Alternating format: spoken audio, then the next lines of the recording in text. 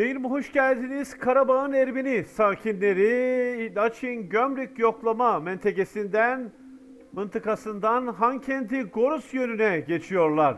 Şimdi gördüğünüz gibi evet şu anda Ermenilerin Azerbaycan'ın gücünü hissettikleri, ilik ilik hissettikleri görüntüler geliyor. Bu görüntüleri çok bekledik. Türk'ün gücünü göreceksiniz dedik. Oğuz Türklerinin gücünü göreceksiniz dedik. Şimdi ayaklarında terliklerle Hankendi'ye geçmek isterken görüntülenen işgalci Ermeniler. Şimdi bakın görüntülere.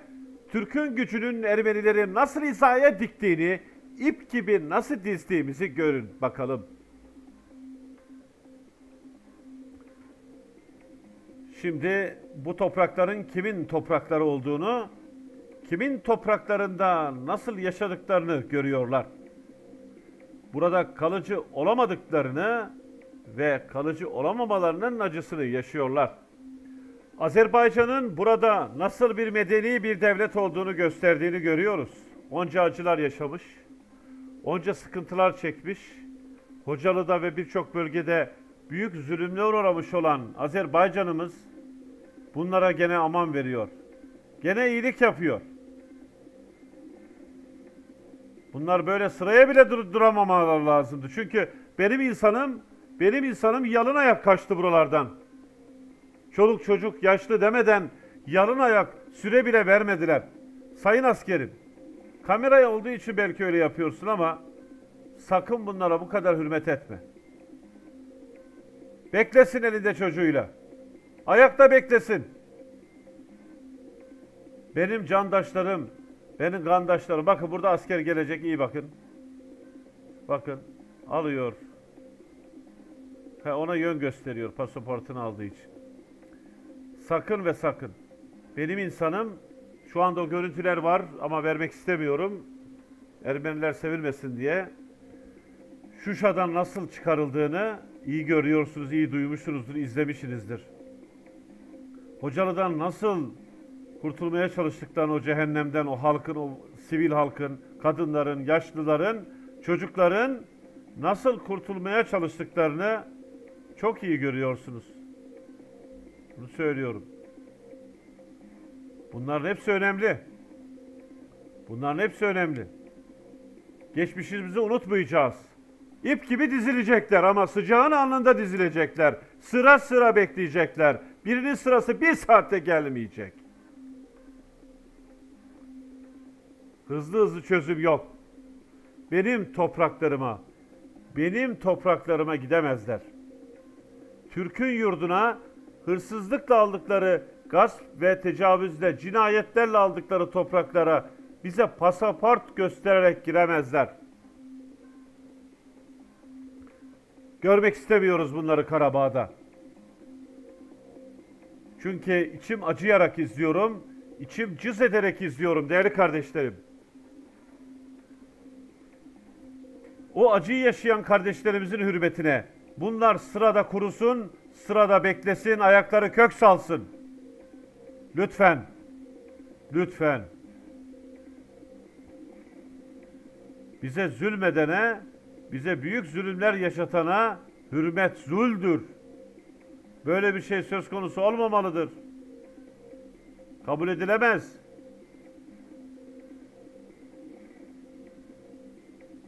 Böyle şeyler kabul edilemez.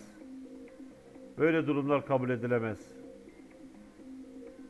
Ve demek istediğim husus şu. Artık bir şeylerin vakti gelmiştir. Artık bu adımları atmanın vakti gelmiştir. Geçiyor bile.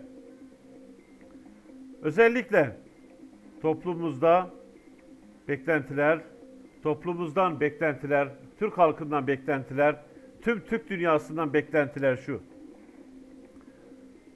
Bütün Karabağ'ın kurtulması. Biz bunlar yasal mı ki geçişlerine bu kadar rahat izin veriyoruz?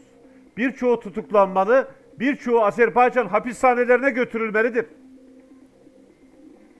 Bunu içtenlikle söylüyorum. Biz ikinci Karabağ cinayetinde Hocalı'daki ikinci cinayet, Bakü'deki cinayet birinci cinayet. Ama Hocalı'daki cinayet ikinci Karabağ cinayeti. Daha sonra ikinci Karabağ Savaşı'nda tam yaklaştık Hocalı'ya durdurdular bizi. O cinayetlerde esir alınıp götüren kadınlarımız, çocuklarımız birçoğunu bırakın hiçbiri gelmedi. Kemiklerine ulaşamadık. Biz burada bekleyenlerin en az yarısını tutuklamalıyız. Yargılamalıyız, tutuklamalıyız. Bu işgalciler neden tutuklanmıyor? Biz hırsızların, cinayetkarların çocuklarını ve onların nesillerini korumakla mı yükümlüyüz? İşgalciler Laçin sınır kapısında tutuklanmalıdır. Nasıl uslu uslu duruyorlar değil mi? Bunlarda yetki olsun, bunlarda imkan olsun neler yapardılar değil mi? Neler yapardılar? Yüreğim kan ağladığı için sizlere seslenmek istedim. Ey güzel Azerbaycanım, sakın gevşeme, sakın bir anlık gaflete gelme. Bu karşındaki insanlar seni hiçbir zaman istemedi ve en ağır işkence ve zulümlere tabi tuttu. Bunlar değil miydi benim Azerbaycanlı kahraman askerimin, evet kahraman askerimin üzerine bunları yapan?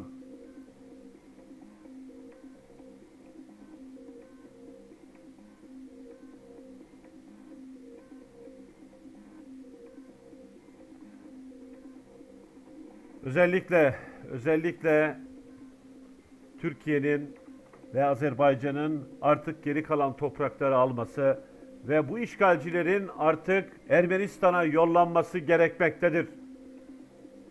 Ama çoğunun yargılanmasını istiyoruz. Bunlar nasıl rahat geçerler? Yargılanmalılar ve tutuklanmalılar, hesap vermeliler yaptıkları cinayetten dolayı. Buradaki kızları gösterenler olabilir. Yaşları küçük diyenler olabilir. Babalarının, ablalarının yaptığı cinayetin haberlerini, konuşmalarını öğrenmişlerdir. Yargılanmalılar. Tutuklanmalılar. Hele yaşı 50 ve üstü olanların hepsi tutuklanmalı. Yeter artık. Evet değerli izleyenler. Karabağ'da cinayet işleyenlerin elini kolunu sallayarak bizim topraklarımız olan Hankendi'ye gitmeleri benim ağrıma dokunuyor. Sizler de benim gibi düşünüyorsanız lütfen yorumlara görüşlerinizi yazın. Hiçbir zaman biz Hankendi ve diğer yerleri bu sürülere bırakmayacağız. Hepinize sağlık ve esenlik diliyorum. Yaşasın Büyük Azerbaycan, yaşasın Büyük Türkiye, yaşasın Büyük Turan. Görüşmek üzere.